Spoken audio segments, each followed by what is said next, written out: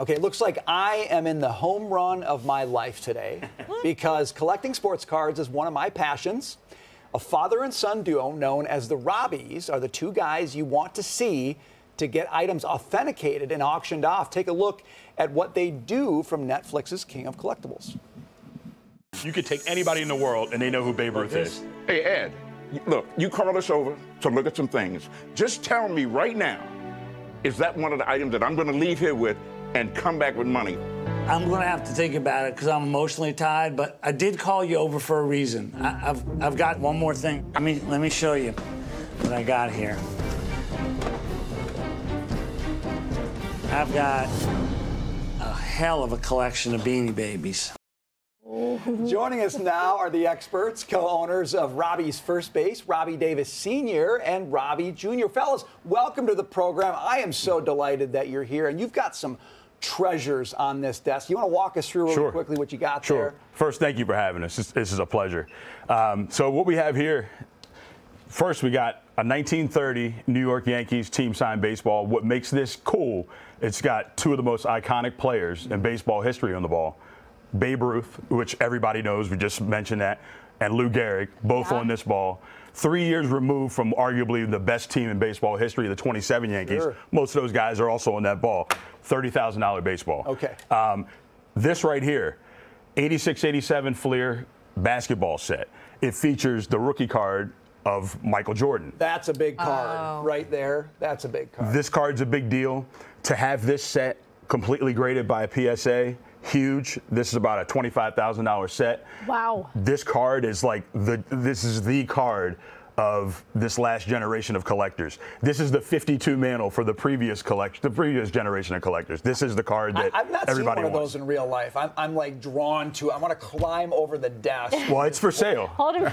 He can't afford it. He has children at home. But you know the good thing about this 86 set. 86 is not very long ago. Mm-hmm is that somebody could walk into a store, spend thirty dollars, and walk and, away. And, and buy the packs of cards that these would be in, mm-hmm. and now it's worth thirty thousand dollars, mm-hmm. and could be worth more, predicated on if that Jordan was a ten. That's right. And it, there's not a lot of things you can do that with, but with our industry, you can do that. That sort of actually brings me to a little bit of a question. We're we're a money show, and we've sure. talked about how, especially in high inflationary environments, are people collecting these as a store of value, as a place to sort of put their wealth well, me, and to hide out? I'm going to answer that question. 2008.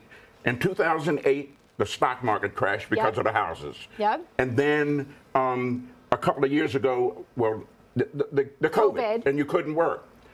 But our cards weathered the storm, and there's a reason why. Yes. Mm. Advertising sells everything. Mm. I mean, advertising. Uh, our cards, when you buy cards from us, they're advertised every day, free, every day, all year long, every year. And, the, and here's why. Whenever there's a new ball player, new tennis player, new soccer player, when he comes and starts throwing up crazy numbers, people in sports get on there and compare his numbers mm-hmm. to Mickey Mantle, to Michael Jordan. Sure, Tiger ain't woods in yeah. a long time, yeah. but his numbers are being compared. Sure. Wow. And that so you buy the item. America's going to hype the it. Value. Yeah, you, you hype it without us spending. We don't have to have no advertising. Yep. Every day somebody's talking about Tiger Woods, Michael Jordan. That's a great point. I thought the 1930 baseball would be more than 30,000. Well, you would think so. And here's the thing that's funny is that this ball has probably about six or seven Hall of Famers on there. Mm. The most notable being Gehrig and Ruth. You would think the fact that it has Lou Gehrig and Babe Ruth on the ball that it would be worth more having the combination of the yeah. two. But really, they're worth more if they're separate single sign, single sign balls because it's more of a marketable piece. Yeah. It's more and, unique. And condition. You and condition also makes a difference. I see a lot of dirt on that ball. Wow. it's, it's, not necessarily dirt. It's a 1930, and things from 1930 don't always look yeah. so good. You know, All right. So, fellas, I'm, I'm a collector. I've actually got a whole right. collection in my office here at Fox. I think we've got a picture of it, don't we? That's my cardboard glory wow. wall, and that's where I put wow, baseball cards that I love. Yeah, that's my office. Okay. But here's the thing. So I, I'm, i love collecting, but I, I could never part with what I collect Uh-oh. because I just fall in love with it. Mm-hmm. I got to imagine you fall in love with some of the things that you, you know. My granddaughter Emery asked me the other day, is there something that I wouldn't um, get rid of? Mm. And I'm going to tell you flat out Deutschmark, Krugerrand, peso, or yen, I'm about dollars. That's what I'm about, right? So when Taylor walks through the store at Robbie's first base and offer me a dollar more than something I have there, Uh-huh. what it do, what it do, what it do, out the door it's going. Money speaks. That's why Out we're the called the it's going. Big Money 'Cause- Show. Because I want to look back, because we get kids, parents coming in now and say they bought this from us 20 years ago, right? and now it's worth this. That means a lot to me. Sure.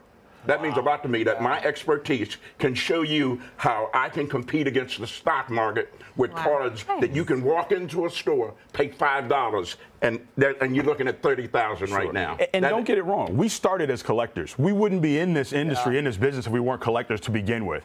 But there comes a point in time, you know, when you're in the business, you got to realize that for the most part, things are replaceable, and collectors wake up every day trying to collect. Yeah. I wake up every day trying to help you build your collection. So to me, that still is an element of collecting. You know, Brian, if you tell me you're a Minnesota Twins fan, Which I am. you want to get a Harmon Killebrew game used bat. I'm going to make it my life mission until I find that Harmon Killebrew game used bat to find that bat. That's collecting. You know, I'm collecting that for you, and that's that's what I wake up trying to do every day. You know, I got a Harmon Killebrew baseball glove wallet right here. I love it. And we didn't even plan that. I told you these guys were going to be good. Oh, yeah. Robbie Oh, Senior, really Robbie. Jr. We're so done. glad to have you in the program. Thanks for Yep. showing up. Appreciate it. We appreciate Thanks for having Thanks us. for having us. Thank you.